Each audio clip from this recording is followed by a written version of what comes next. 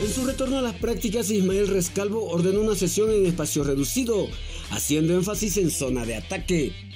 Hoy Billy Vizcarra comenzó a trotar y podría reaparecer el domingo, al igual que el lateral derecho Chiqui Torres. Que es muy feo estar afuera, que ver a los compañeros eh, desde casa, por la tele, uno, uno se desespera, pero bueno, creo que todo ese tiempo mantuvimos la calma. Pero no todas son buenas noticias, porque sigue sin resolverse el tema de José María Carrasco.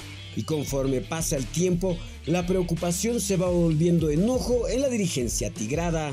Sin embargo, bueno, el presidente ya puso un plazo, él ya está un poco molesto, cansado de, este tema y obviamente también el jugador que él quiere jugar. Die sigue teniendo como primera opción a Jairo Quinteros del Zaragoza de España. Que el tema de Jairo pasa no por Jairo, ¿no? sino por el los que son todavía dueños de su ficha, que es el Club Zaragoza, ¿no? Entonces, eh, y ellos manejan otra realidad económica muy diferente a la que nosotros tenemos. Si no logran un acuerdo en lo económico por Jairo, manejan otra alternativa. Ver a un zaguero extranjero que aunque sea nos colabore en los partidos de la Copa, ¿no? Ese sería un plan C, digamos. Digo.